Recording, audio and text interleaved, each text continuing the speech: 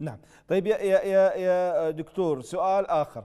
حضرتك يعني للتاريخ أنت حصلت يعني بحدود أكثر من من 8000 ونص إلى 9000 صوت ب 2014 وأنت ما كنت مسوي دعاية. والعبادي كان محقق بحدود 500 صوت. وأنت الآن ترفض تسوي دعاية. ليش ما تسوي دعاية؟ أنا بدي أسأل يعني أنت الوحيد بالعراق اللي ترفض تسوي دعاية يا رجل. ليش ترفض؟ يعني هاي السنة اللي سنيتها أنت ليش؟ أو إيه. لا أستاذ أنور هي الفكرة الأساسية أنه أنني بسبب ظهوري المتكرر في الإعلام لست بحاجة لأن أتحدث إلى الجمهور بشكل مباشر. يعني الجمهور يعرف تماما طبيعة الأفكار التي أدعو لها منذ منذ ربما على الأقل منذ عام 2003 حتى هذه اللحظة. وبالتالي أنا لست بحاجة لمؤتمرات انتخابية وما إلى ذلك. الأمر الثاني المهم هنا أنه يعني آه، أنا دائما أقول انه الانتخابات في العراق ليست انتخابات برامج سياسية.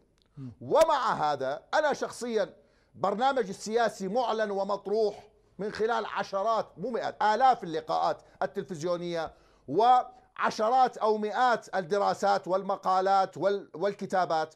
وبالتالي المتابع ليحيى الكبيسي يعرف تماما ما هي طبيعة الأفكار التي يطرحها يحيى الكبيسي الأمر الثاني المهم أن تحالف القرار كتحالف قد طرح برنامجا سياسيا وبالتالي من لديه الرغبة الحقيقية في معرفة البرنامج السياسي للقرار العراقي يستطيع أن يعود إلى هذا البرنامج وهو مطروح ومنشور. ولكن أيضا أقول دائما أن الانتخابات في العراق لعوامل عدة ليست انتخابات برامج سياسية. وإلا كل القوى السياسية تطرح برامج وردية.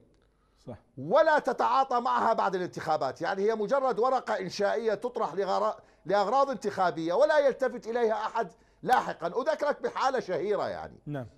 يعني حتى البرامج الحكومية التي يجب أن تحاسب الحكومة بموجبها لا يلتفت إليها أحد. عد إلى البرنامج السياسي الذي طرحه السيد حيدر العبادي في عام 2014 عندما أصبح رئيسا لمجلس الوزراء.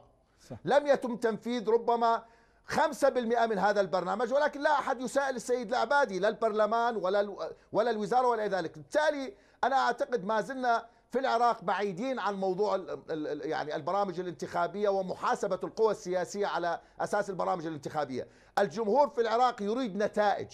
صح. يريد عمل ملموس على الأرض. أعتقد هو يستطيع أن يحاسب على هذه الأمور وأنا أعتقد هو اليوم سيحاسب على هذه الأمور بشكل جيد. إن شاء الله.